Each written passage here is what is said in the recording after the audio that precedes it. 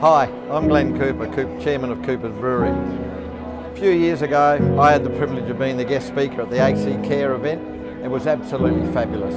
The amount of people, the enthusiasm, and the attentiveness to looking after homeless people was absolutely amazing. I had a great time, so good a time, I'm back this year. G'day guys, my name's Tim Guest from the SBS documentary Filthy Rich and Homeless and I'm just uh, you know, really proud and really honoured to be here in, uh, in Mount Gambier for the AC Care luncheon. AC Care's been doing great work over the past years in terms of not only providing services and housing for people that are dealing with homelessness, but really providing the kind of support and mentorship that allows people to really live healthy and, and well lives. And I'm just, uh, like I said, just really, really glad to be a part of it. And thank you so much for having me.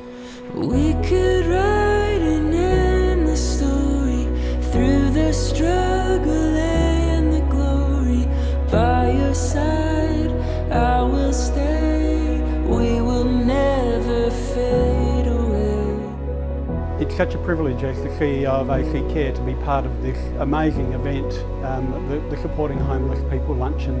The money raised at this event um, is critically important to the services that we deliver to, to this community um, we're able to develop new programs, um, innovative programs such as the Tenancy Education Program um, that work together with local business um, and AC Care to provide support to, to people in our community.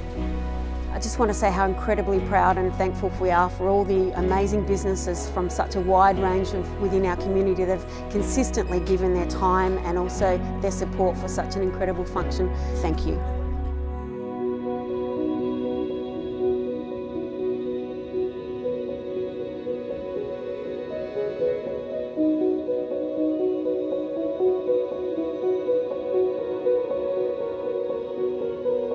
There's a beauty like a fire in the night as the sun shines upon each new day. I know there's been a lot of thank yous throughout the day, but look, I have to go back over some of them.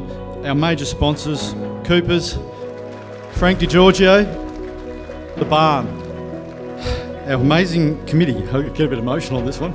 Diane, who was your MC today, to Astyn Reid, Robin Reid, Anne Hinkly Tyler from AC Care, and all the all of your businesses here today, and our community.